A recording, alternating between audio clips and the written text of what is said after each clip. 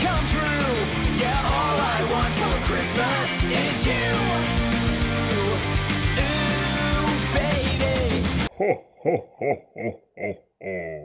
Hello Santas and Scrooges, welcome to Evil Speak, my name is David, I'm host is Christmas. Let's see, Last year I already talked about some Christmas horror classics such as Black Christmas and Silent Night Deadly Night. Hell, I even covered that god-awful movie called Santa Claus. So, what else is there to talk about? Meh, too obvious. No, doesn't fit the channel. Well, I would, but I don't own the DVD. From what I hear, it's a shitty movie anyway. What the hell? Ho ho ho! Are you calling me a hoe? No, I got a present for you. For me? Yes, I was checking my list, checking it twice, and I found out you were naughty and nice. So? So I got you a movie as a present. But you gotta do a review on it. Thanks, Santa.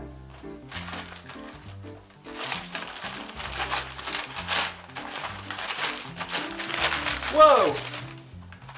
Don't open till Christmas. How convenient! Don't Open Till Christmas is an English horror movie released in 1984. It was directed by Edmund Purdom, who you might remember as the principal from Pieces. It was produced by the relatively unknown Stephen Minasian and Dick Randall, the producers of Pieces. Damn, this movie's got pieces written all over it. And you know, that is a fun fucking movie. Will this be just as much fun? Well, let's find out. The movie starts out in an alley, where a guy in a Santa Claus costume is taking a break from the present. Get it? Present? Because, you know, he, he brings presents? And the award for worst joke of the year goes to David from Evil Speak. By the way, isn't this guy a little skinny to play Santa? Hey, Sorry. The guy in the Santa suit meets up with his girlfriend and they make things hot and heavy in the car. But a mysterious person approaches the car and stabs both of them. We then cut to the opening credits and wait, he gave himself the lead role? Yeah, because that always works out well.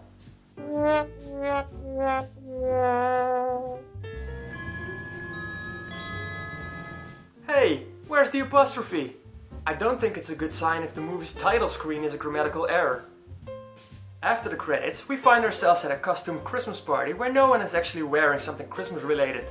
Except for one guy playing Santa, of course.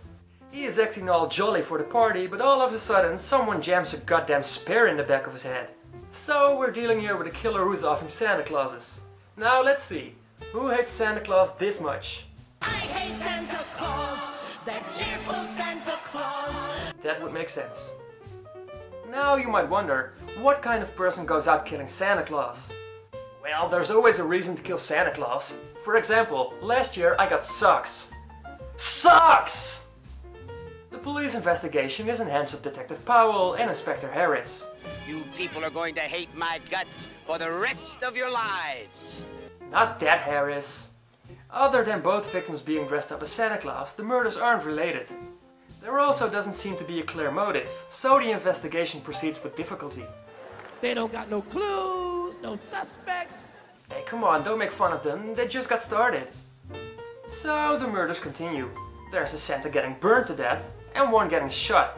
Okay, there's one thing I don't get. If there's a killer on the loose who was murdering everyone who was wearing a Santa suit, would you dress up as Santa and walk around in dark alleys? There's also a news reporter interested in the case, a journalist called Giles, who looks like he just came out of a David Hess lookalike contest. He's a little obtrusive and annoying and tries to talk to everyone involved, like the cops and the victim's bereavement. But he doesn't seem to have a lot of success with it. Ah, what am I talking about? You want more kills, right? Fine, let's unwrap some kills. Speaking of unwrapping, Santa is a lot sexier under his suit than I thought. No, it's actually a girl fooling around with her boyfriend. But when two cops arrive, the couple splits up. So the girl is running from the cops and Hey there, little Red Riding Hood. You sure are looking good. You're everything a big bad wolf could want.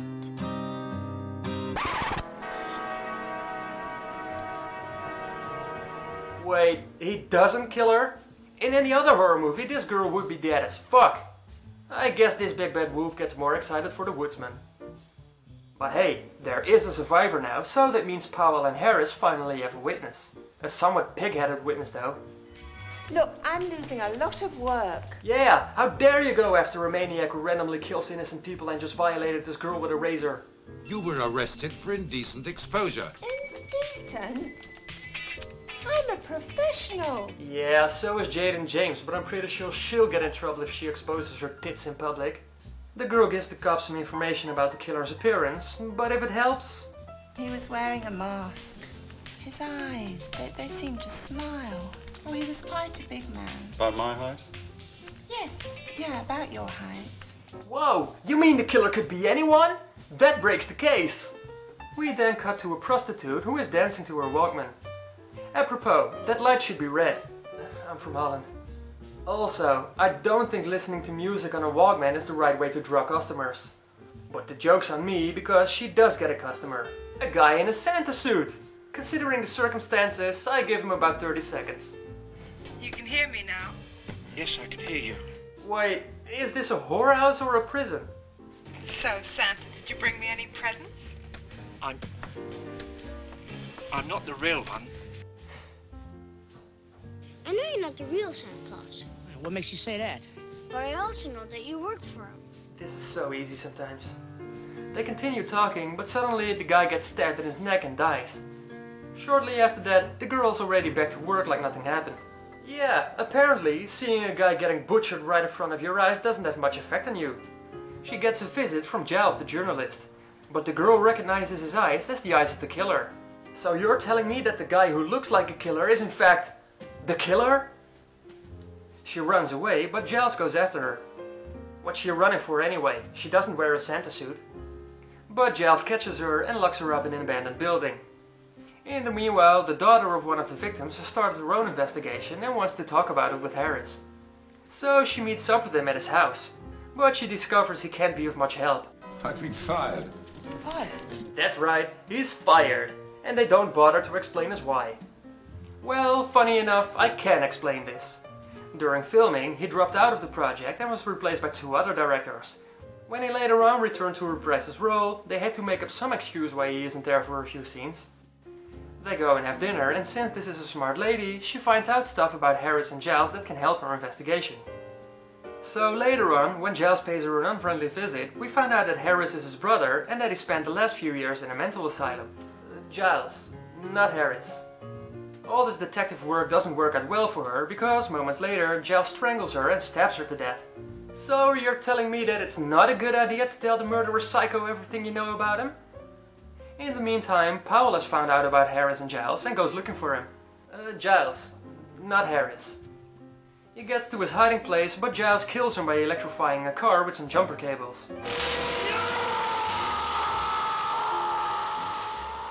Shocking. Wait, fuck that, I can do better. Giles unties the girl to get her something to eat, but she takes advantage of this opportunity to get the hell away.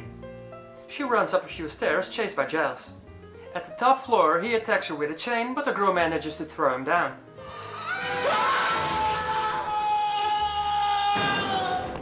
She walks downstairs to check on him and... Oh come on, we've seen this a thousand times, he's still alive. Ladies, stop screaming, you did this to yourself. Don't you ever watch horror movies? Never check on the body.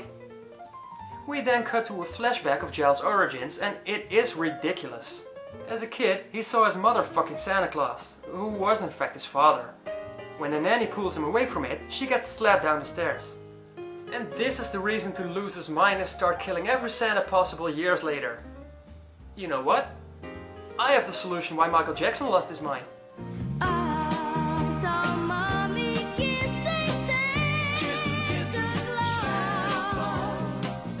Also, didn't we see the same kind of origin four years earlier in Christmas Evil?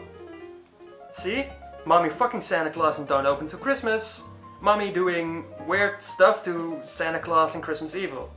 It's the same principle, but wait, the biggest cop out of this movie is still yet to come. It was all a dream. Yeah, it was all a dream, and I fucking hate these endings. Here you are, watching a movie you may or may not like, and then they say, nah, fuck it, never happened. You see how he's walking through the house, all uninterested and lazy? That's how I was walking through my house for months after seeing this movie. But as a last touch, his brother did send him a Christmas present. That's cute. Could have been a bomb.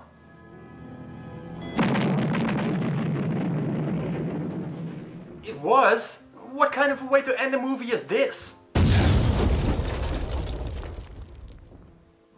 So that's Don't Open Till Christmas.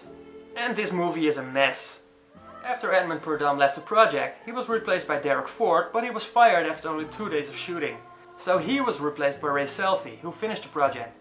Some parts were rewritten and a lot of parts even got refilmed. With so many directors and last minute decisions, you know you got a messy sleaze fest in your hands. But with a backstory like that, I think they did an okay job with it. Try fixing a movie that has already been fucked up. It's not easy. Yeah, the movie is a mess, and yeah, it can be boring at times. Even so much that I didn't even catch the names of some of the characters. But all in all, it's an okay watch. It's not a masterpiece, it's just okay. There are a few cool kills, and I like the idea of a guy killing Santa Clauses. It's a lot more original than the killing Santa Claus, which has been done numerous of times now. I think the 3.9 on IMDb is a little excessive. I give this a 4.0 at least. I just wish it wasn't so sloppily made. If it ran more smoothly, it would be far more fun to watch. Because this story had lots of potential. Well, it did scare the shit out of me. And that's all we got for this time. Have a jolly jolly Christmas and I see you all next year.